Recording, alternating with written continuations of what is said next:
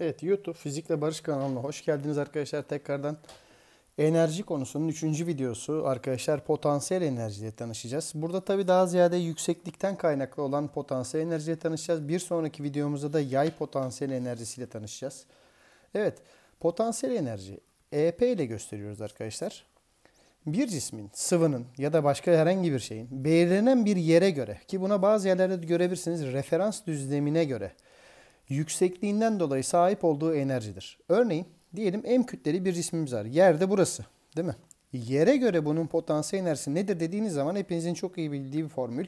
Kütlesi çarpı G yer çekimi ivmesi ve dikkat edin H yüksekliği diyoruz. Ama H dediğiniz şey ne? Dikkat edin cismin ağırlık merkezinin yer düzlemine olan yani bunun ağırlık merkezi nerede? Böyle bir türdeş bir cisimse ağırlık merkezi burada. Bu noktanın yer düzlemine olan uzaklığını alıyoruz ve dolayısıyla da potansiyel enerjiyi MGH diye hesaplıyoruz ve birimi de ne oluyor arkadaşlar hatırlıyorsanız Joule diye bir birimi oluyordu. Evet. Soru çözümüne başlarsak arkadaşlar.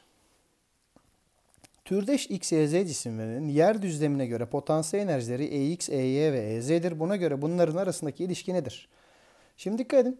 3M, 2M ve M diye H, H, H diye verilmiş. Bakın nereye göre? Yer düzlemine göre alacağız arkadaşlar. Değil mi? Yere göre yazarsak o zaman bakın. 3M kütlesinin ağırlık merkezi burada. 2M'nin ağırlık merkezi burada. M kütlesinin de burada. E bunun ağırlık merkezinin yerden yüksekliği ne kadar? H. O zaman X'inkini yazıyorum. 3mg yerden yüksekliği de h.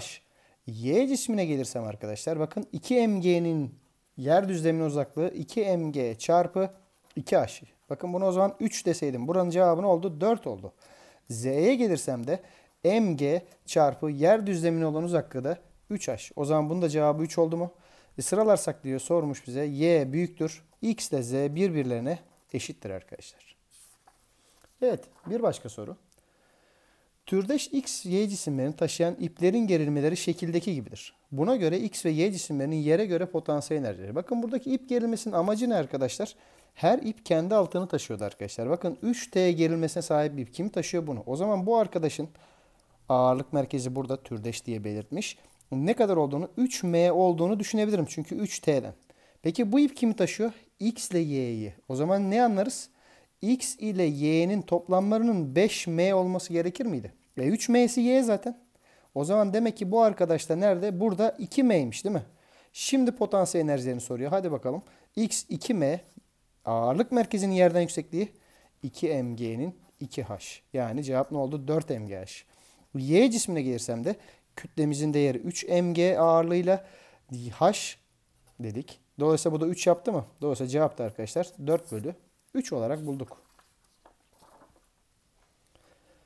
Evet, türdeş X ve Y cisimlerinin kütleleri sırasıyla M ve 2M'miş. Bakın arkadaşlar, X ismi ağırlık mı? Türdeş olduğuna göre ağırlık merkezi nerede? Köşegenlerinin kesim noktası olan şurada ve kütle ne kadarmış? M.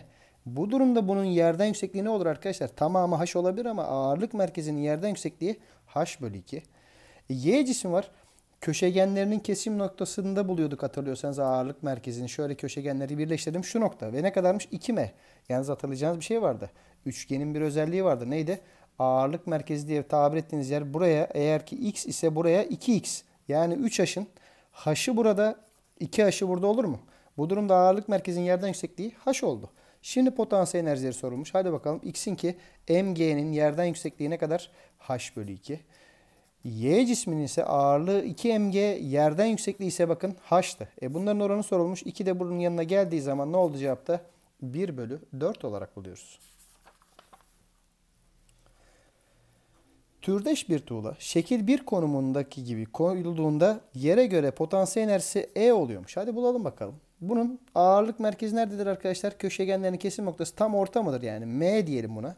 Ve yerden yüksekliği ne kadar? H bölü 2 mi yaptı? Hadi bakalım.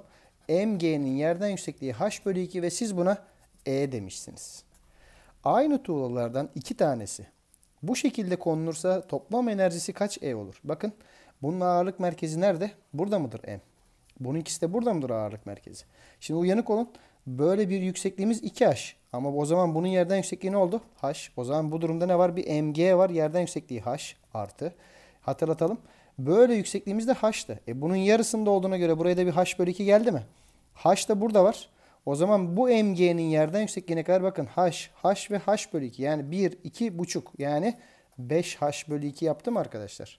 Paydası 1. Bunu da 2 diyorum. 2, 5 daha olunca 7 bölü 2 MGH. E, uyanık olun. MGH bölü 2 E ise 7 bölü 2 MGH dediğiniz şeye de 7E diyebilir miyiz arkadaşlar? Bölü 2 yattım hemen. Evet bir başka sorudayız. Özdeş türdeş e, küplerden oluşturulan şekildeki cisimlerin yer düzlemine göre toplam potansiyel enerjileri oranı nedir? Bakın şekiller çizilmiş. Ne oluyor? Bakın bunların her birinin yüksekliğini h kabul edeyim. Her birinde m kabul etsem. Bakın burada bir m, m ve m. Üçünü hatta kolaylaştırıyorum. 3m diye burada buluşturabilirim değil mi? Bir tane de m burada kaldı mı? 3m'nin yerden yüksekliği ne kadar? O zaman birinciye başladım. 3m'nin yerden yüksekliği h bölü 2. 3mg'nin h bölü 2. Bu mg'nin bakın burası h bölü 2. E buradan da bir h gelince mg'nin yerden yüksekliği h artı h bölü 2'den 3h bölü 2 yaptı mı?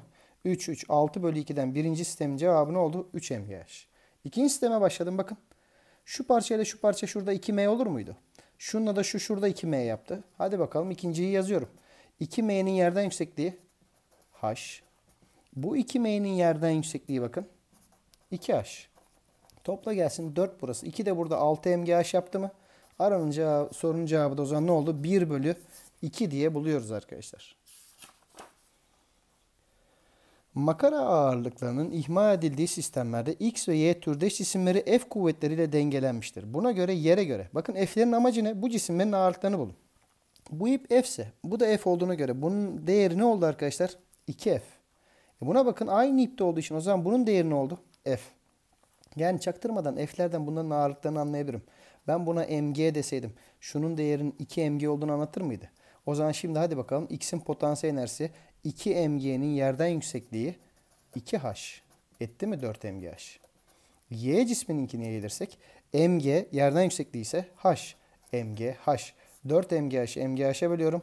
Aradığımız cevabı da 4 diye buluyoruz arkadaşlar. Evet. Bu sefer bir sıvıyla bu sefer devam edelim istedik. X, Y, Z kaplarında türdeş sıvılardan eşit kütlede bulunmaktadır diyor. Taban alanlarını bilmiyoruz arkadaşlar. Yani diyebilir nereden biliyoruz eşit kütle? Adam ver, verenlerine uyacağız. Buna göre sıvıların kap tabanına göre potansiyel enerjiler.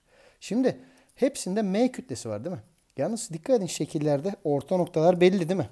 Sizce bakın bu taraftaki sıvı mı daha fazladır bu taraftaki mi? E, alt taraf daha fazla yer tuttuğuna göre buraya göre ağırlık merkezi biraz buralarda olması gerekir miydi? Bak buraya bak. Bununla bu eşit olduğuna göre ağırlık merkezi hemen tam ortadadır.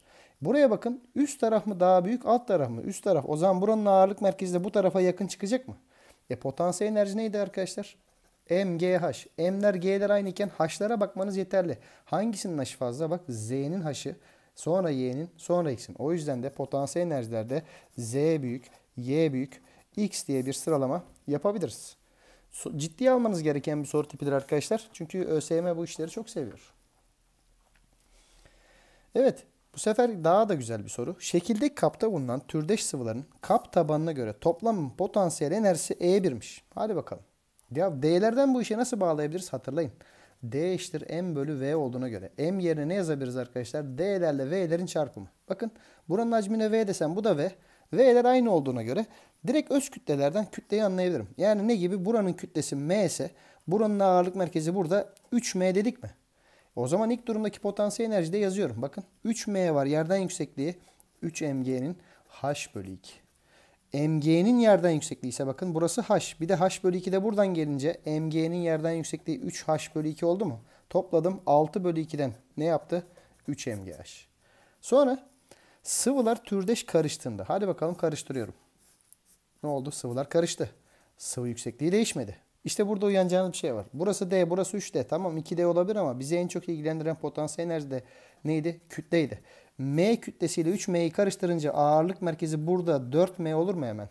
Hemen atalım golü. 4MG'nin yerden yüksekliği de H'tır. Dolayısıyla sorunun cevabı da 3 bölü 4'te olacaktır arkadaşlar. Evet.